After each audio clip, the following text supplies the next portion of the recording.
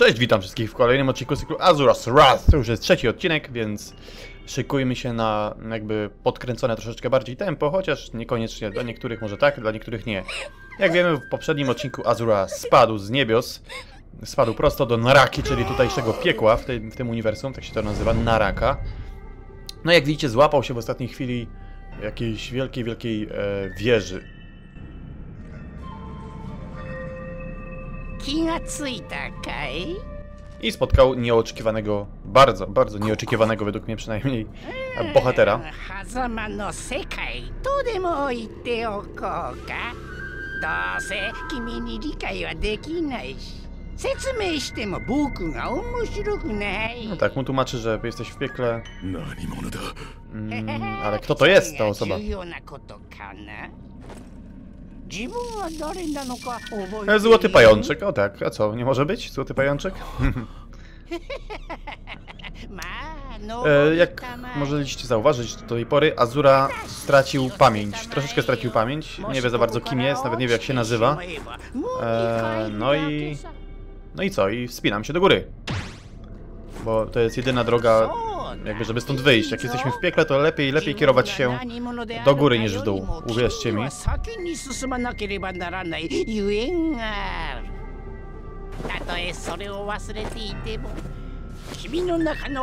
O tak, długa, długa droga przed nim. Coś mi powiem wam, przypomina ta, e, ta wyprawa na górę.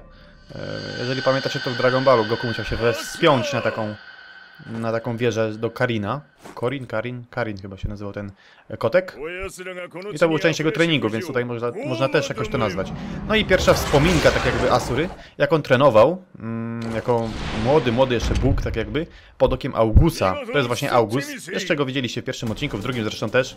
Mm, Jest to jeden właśnie z tych bogów, e, z tych ośmiu bogów, teraz już siedmiu, bo w końcu Asura zrezygnował, więc zostało ich siedem. Zrezygnował, tak. Po prostu go wypieprzyli, zabili go prawie. Mm, No i zostało, zostało ich siedmiu, no i to jest jeden z nich. No to jest taka wspominka jakby... On jest mistrzem Asury, można by tak to stwierdzić. Nauczycielem takim jego uczył go jak walczyć i takie rzeczy. E, więc e, no...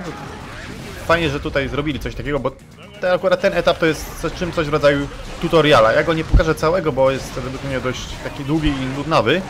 E, chyba jakiś fragment tylko pokażę, może ten pierwszy. Mm, tak, potem nie będę, potem to wytnę. E, I, I co? No i jak widzicie, Azura nieźle sobie tutaj poczyna, e, zabijając te marne, marne, jakby mm, marnych przeciwników, sługi tej Gomy. Goma, tak, Goma po prostu. To jest piekło. Znaczy mantra to jest piekło, Goma to są mm, jakby te te demony, tak można to nazwać. Takie dziwne nazwy tutaj zrobili, no ale fajnie, że mają właśnie swoje uniwersum i swoje nazwy osobno.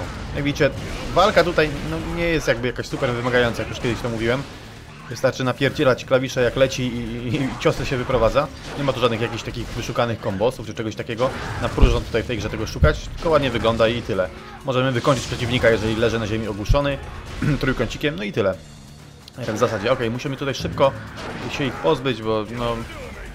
Mm, nie ma żadnego jakiegoś tutaj większego głębi ten, ten, ten, ta, ta rzecz. Ale w tym momencie, jak widzicie, walczymy już z samym Augusem. Który jest naszym mistrzem. Zobaczymy, jak nam pójdzie w walce jeden na jeden z nim. Tak, Own Master, czyli mój własny mistrz. Jak widzicie, jest on trochę wykokszony. Mi się, jak mówiłem, kojarzy ten August z, z, z Zarakim Kenpachi z Bleacha. Okej, tutaj tutorial musimy, tutorial musimy troszeczkę pominąć. Na szczęście ja ogarniam troszeczkę tą grę. Znaczy wiem, po prostu nie ma tu co ogarniać. W zasadzie ta gra nie jest ani trudna, ani nic. Mm, ale wiem, jak sobie, jak walczyć z takimi bossami jak on. W jakich momentach czego używać. Bo tutaj możemy używać zwykłego ataku, możemy używać jakby silnego ataku, takiej eksplozji. Możemy się uwalniać, możemy robić ataki z powietrza, możemy strzelać. Wbrew pozorom jest tego dużo tutaj, naprawdę. Mm, ale co najważniejsze, ta gra bardzo, bardzo ładnie tu wygląda. Mm, Żeby pokonać przeciwnika jakiegokolwiek, musimy naładować ten pasek u góry. Ten pasek e, niebieski, taki niebiesko-zielony, e, jest to nasz pasek jakby zdrowia. Mm, A ten czerwony, który w sumie na razie go nie widać, jest to pasek jakby postępu. Ten postęp naładujemy na maksa, no to możemy przejść do następnej sekcji, do następnej części fabuły. Akurat w tym momencie użyłem Ultimate Mode'a, który nie pozwala, żebym się przegrzał. Przegrzać się można, jeżeli za często używamy tego ataku silnego z trójkąta. No chyba jednak jeszcze fabuła jakby nie idzie do przodu, bo jak widzę ten pasek u góry na czerwono wcale się nie ładuje. O, dopiero teraz się zaczął ładować. Jak dojdzie na maksa, no to będziemy mogli przejść do następnej jakby części tej walki. No chodź tutaj, August! Widać, że jest trochę większym koksem niż Asura. e, Przypadkiem, przy- przynajmniej w tym momencie.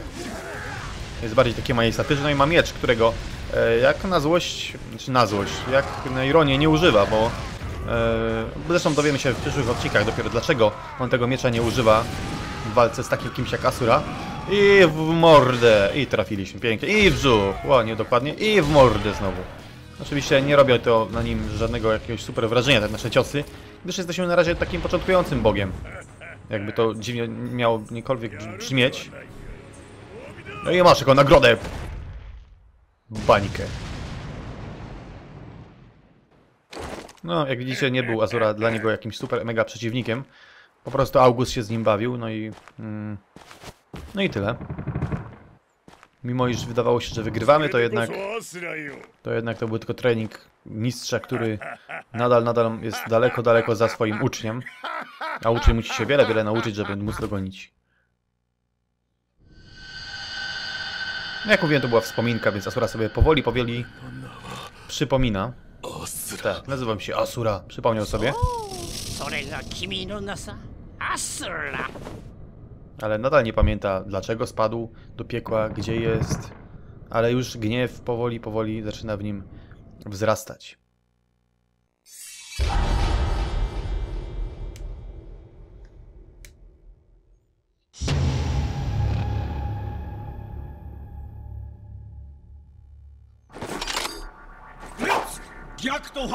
O tak, bierzmy tego zdrajca Asurę. To jest kolejny wspominka.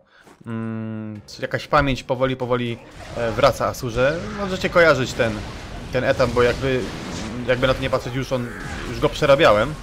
To znaczy była już walka z tymi, dokładnie w tym samym miejscu, z tymi samymi, prawie, prawie z tymi samymi jakby pokurczami tutaj. Mm, ale jak mówię, Asura sobie to wszystko przypomina tutaj, jak to było e, i no i jak, jak mu po prostu e, jak to się stało, że on się znalazł w tym piekle. Bo jak mówię, zapomniał wszystkiego.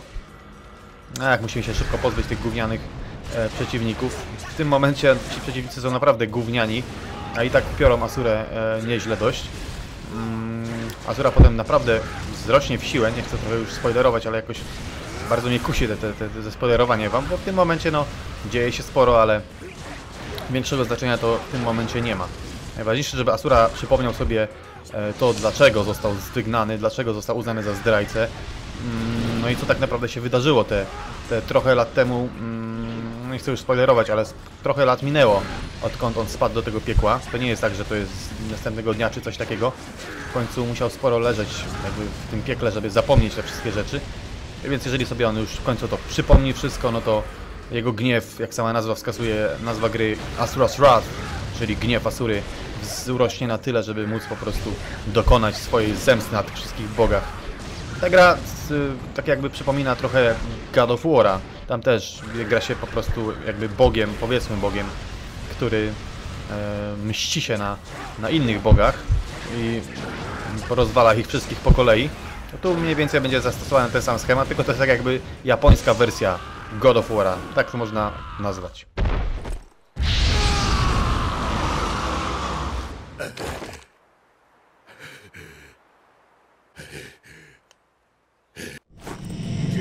I kolejne chore wizje Asury.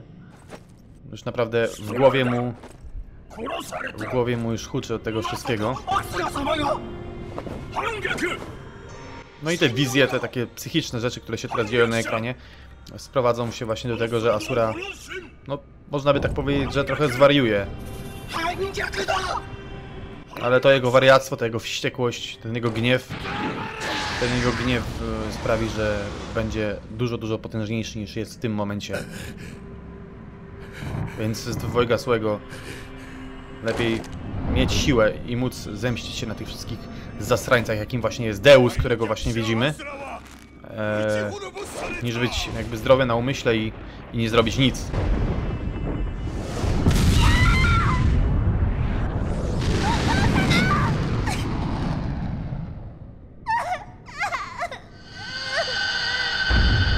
No, teraz sobie trochę przypomniał trochę więcej, więc podejrzewam, że się trochę bardziej wkurzył.ゼウスは世界を救うと言っているけれどそれでいいのかいその犠牲になってこんなところで死んでいる場合じゃ Oj, nie zostawimy tego tak. やめろえどうした気に障ったかいお前じゃない Asura cały czas słyszy jakieś głosy w swojej głowie. 僕じゃない泣き声が Słyszy płacz. 泣き声何も聞こえるはずはないよこの狭間の世界ではね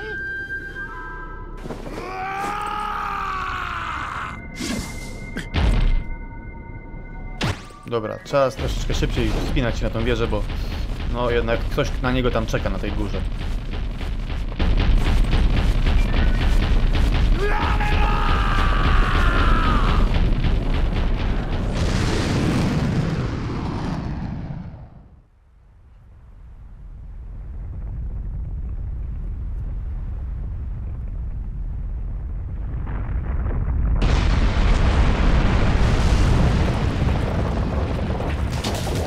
No i w końcu wydostał się. Potężny Asura powrócił do świata żywych.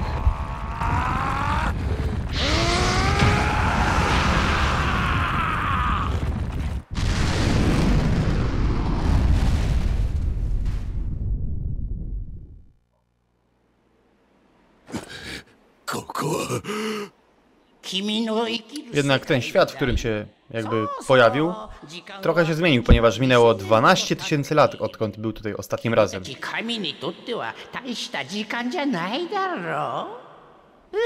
Jednak 12 tysięcy lat nie jest to nic wielkiego dla bogów. Nie jest to jakiś długi, długi okres czasu. Przynajmniej, przynajmniej według pajączka. Chcesz ocalić świat?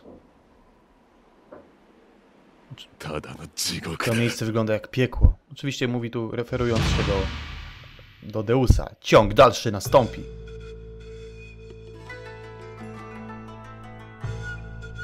W nieznanym miejscu na ziemi. Co ty myślałeś? To miejsce to istne pustkowia w porównaniu z tym, co widziałeś ostatnio. Mogę usłyszeć grzmoty gdzieś daleko. Widzisz może jakieś pioruny? Są czerwone niczym krew. A, więc pamiętasz? Tak. Goma nadal zagraża ziemi. Ciekawe, co twoi dawni kamraci robili przez ten cały czas. Chodź tutaj i sam zobacz.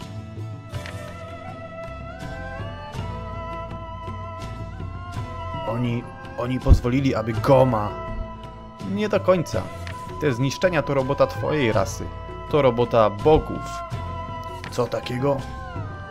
Bogowie rządzą teraz światem tak, jak im się podoba. Być nie może.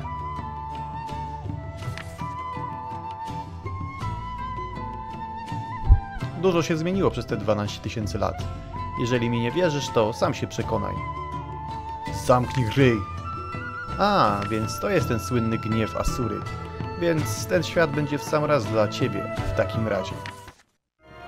アスラが目覚めたのは彼が死した時より1万2000年もの歳月が過ぎた時代しかし 変わらず世にはびこるゴーマ。